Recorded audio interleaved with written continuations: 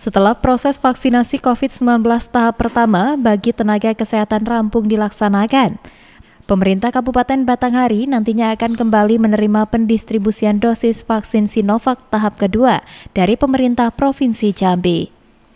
Kabarnya jadwal pendistribusian ini akan dilakukan pada Maret mendatang. Sejauh ini belum diketahui secara pasti berapa jumlah dosis tahap kedua yang nantinya akan diterima. Namun jelang pendistribusian tersebut, tim vaksinator tengah berupaya mengejarkan proses pemberian vaksinasi. Pemberian dosis vaksin tahap kedua tersebut nantinya akan difokuskan terhadap seluruh pelayan publik di daerah setempat.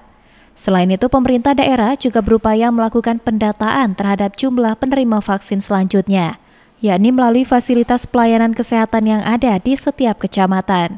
Jadi uh, dijadwalkan ya dari Kementerian Kesehatan begitu yang nakes ini selesai, ini langsung nanti akan datang vaksin berikutnya. Nah, jadi sudah di, direncanakan seperti itu dan bisa lebih cepat ya, tergantung tadi tergantung dari bagaimana kita bisa menyelesaikan yang tahap pertama. Yang tahap pertama tentunya nakes.